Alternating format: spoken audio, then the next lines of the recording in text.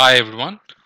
In this video, I'll be troubleshooting this particular problem. I see the VDI machine in my lab environment. It is in unregistered unregistered state at the moment, so I'll be trying to solve this problem. I'll try to make it registered.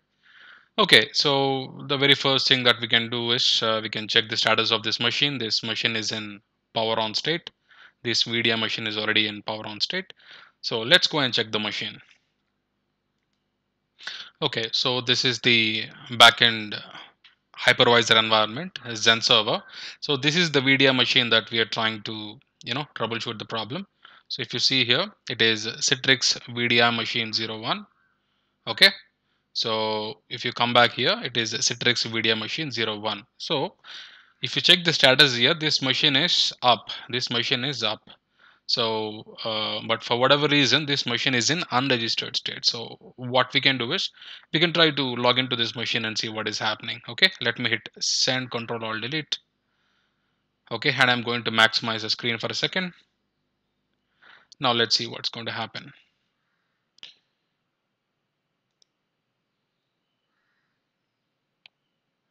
Okay, I'm going to log into this machine now.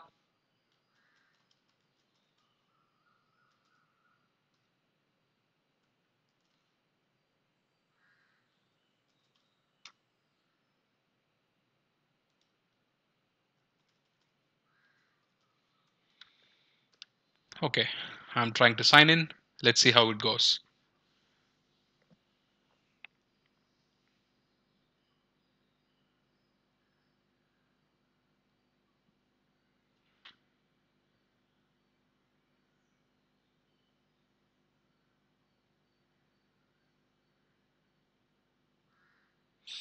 Okay, it says uh, the username or password is incorrect. Let me try once again.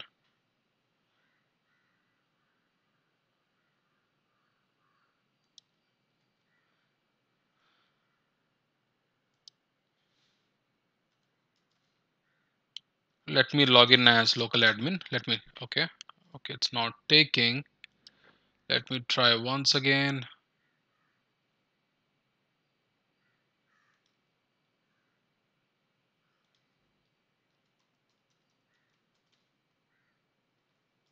It should work now, mostly.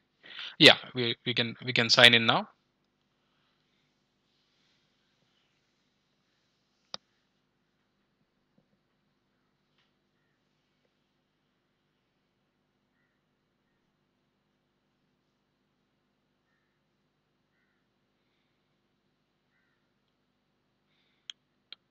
So once we log into the machine, we can start troubleshooting. We can check why this machine is not communicating with the delivery controller. Okay, so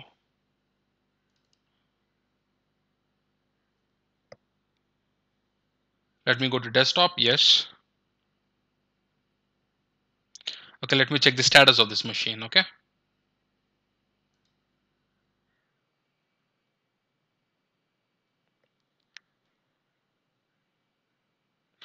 Okay, the very first thing that I would like to do is I would like to check the services.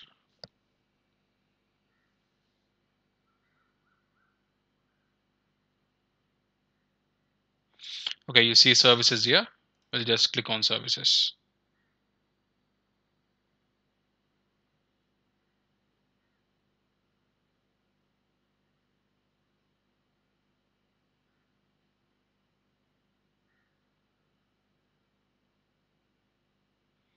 So once the services is up, we can check the status of the services. Okay.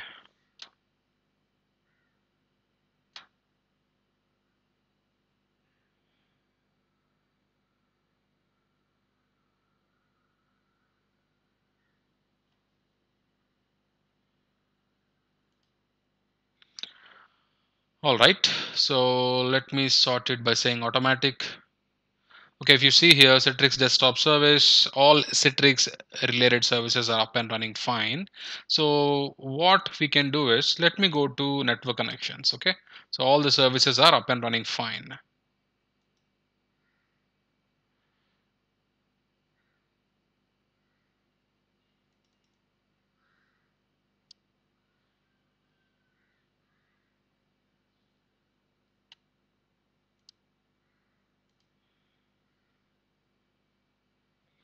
Okay, now let's go to the network connections. What I'm going to do is I'm going to type ncpa.cpl. So this will take us to the network connection, LAN connection. Okay, let's see. Okay, if you see here, this machine is out of domain. Okay, this machine seems like it is out of domain. So let me right click quickly.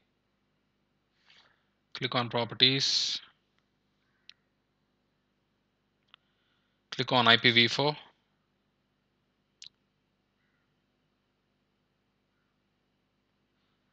Okay, uh, let's see if this machine is communicating with the domain controller or not. Okay, so this is the domain controller. Let me log in quickly.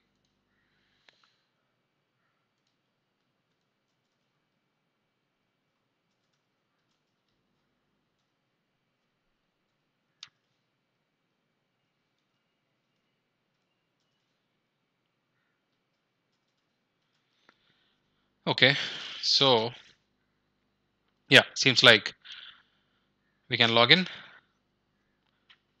So I want to check the connectivity from here to domain controller.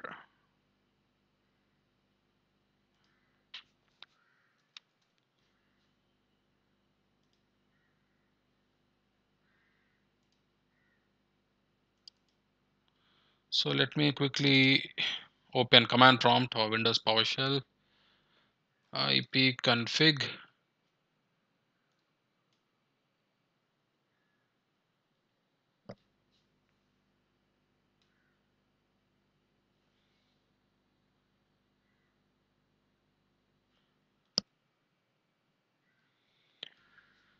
Okay, this is taking a while, so please bear with me.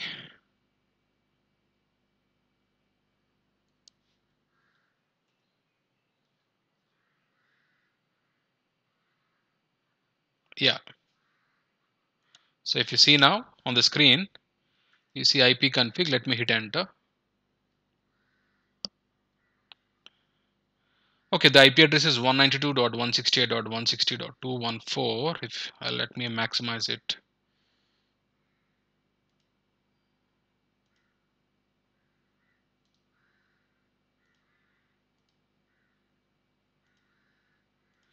Okay, 192.168.160.214. Okay, so let me try to ping 192.168.160.214 hyphen t. It's not pinging. Yeah, it's not pinging. So that could be the problem. It says request timed out. So let, let me check the IP address of this machine. Okay, the IP address is 192.168.42.133. So this could be the problem. So what I would like to do is let me assign an IP address manually and see how it goes. 192, 168, 160, sorry, 160, 157, let's say 157. Okay, let me click OK. Let me click OK.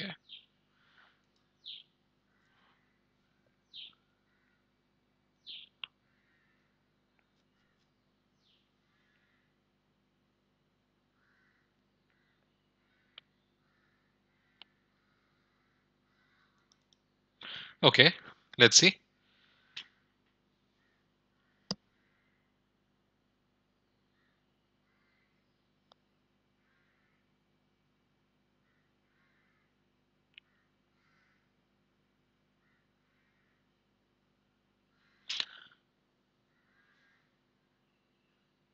So it is taking time, so please bear with me. Okay, so we have you know assign the IP address uh, manually. So if you right click and if you click on properties here, and if you click on IPv4 here, I have assigned an IP address. Okay, let me close, let me close. Okay, now let me ping the domain controller now. Okay, let me ping the domain controller. Let me scroll down, scroll this down.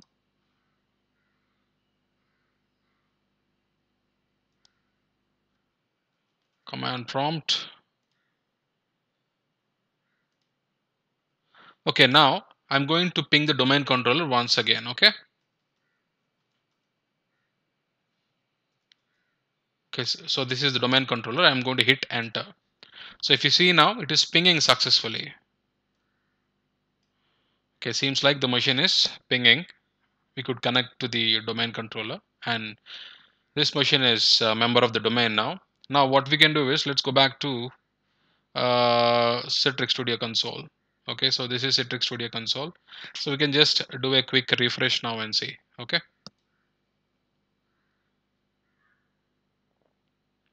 so the machine was in unregistered state. So the machine has been added to the domain. If you see now the machine is in registered state. Okay? The machine is in registered state.